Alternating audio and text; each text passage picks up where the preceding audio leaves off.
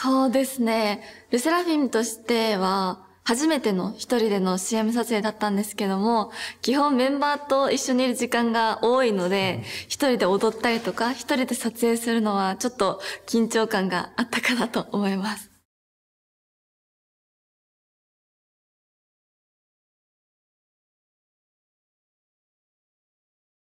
はい。最近はメンバーたちと一緒にいる時間が多いので、一人で CM 撮影をしたりとか、一人でダンスを踊ったりするのはなかなかない機会だったので、ちょっと緊張していたんですけども、特に今回60秒の長尺 CM ということで、私の表情だったりダンスでその CM を埋めないといけないので、そういう部分で緊張感を持って臨むようにしました。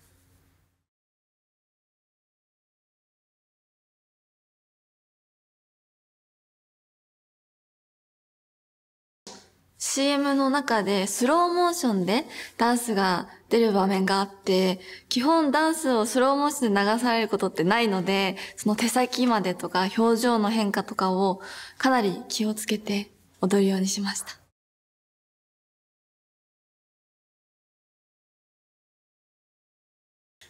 こんなにもこうスローモーションで自分のダンスを見ることもあんまりないので、あ、ここもうちょっとこうしようって、すでにモニタリングをしながら修正をするようにしてました。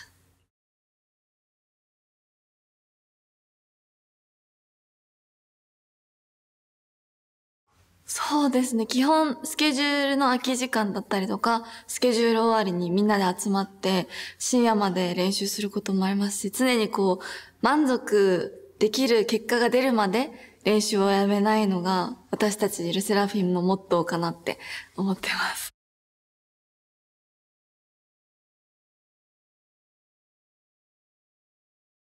その私たちメンバーとダンスの先生の中でいつも言ってるのは満足したら終わりだっていうので常に完璧っていうのはないと思ってるので常に何かクリアできたらまた次の課題が出てきてっていうのでかなり終わりのない作業にはなってくるんですけども、その日の最善を尽くすっていうのが私たちの中であるので、今日はここまで完璧にしようとか、いうのを目標を決めて練習をするようにしてます。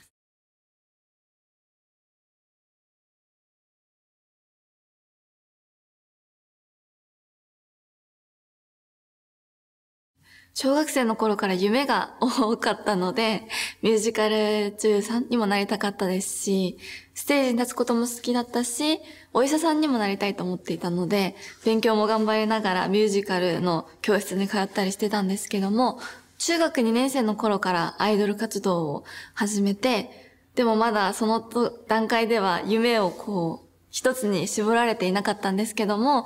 そうですね。高校生ぐらいの時から、この芸能界でやっていきたいっていう気持ちが強くなって、そこからアイドル活動を本気で始めたかなって思います。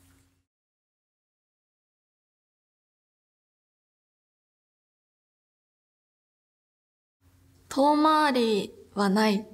ていう言葉をかけたいですね。今まで、うん、本を読むのが好きだったりとかして、本を読んだりとかミュージカルを習っていたことが今アイドルとして活動している中ですごく助けになっていて、うん、昔はもっとこう近道がないのかなって探していたりしたんですけど、どんな道も今の自分を作り上げる何か手助けになると思うので、今やってることを全力でやっていてほしいなって思います。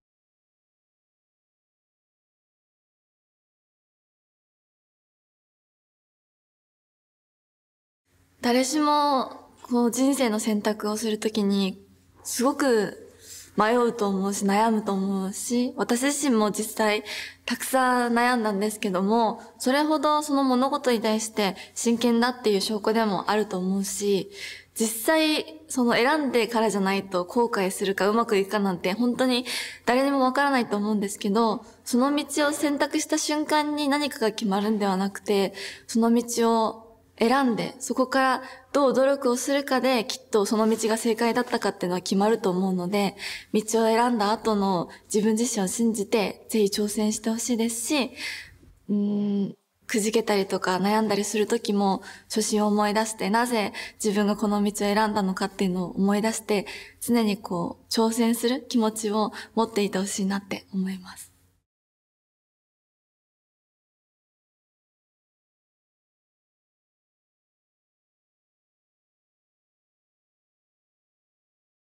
今のように作詞作曲もこう自分の言葉で、自分の気持ちで、その歌を通して気持ちを伝えたいっていう部分は常に強く持っていますし、カメラが好きなので、ミュージックビデオの制作だったりとか、映像系の制作にもいつか携わって、メンバーたちで作った曲を自分が撮影したりとかできたらいいなって思っています。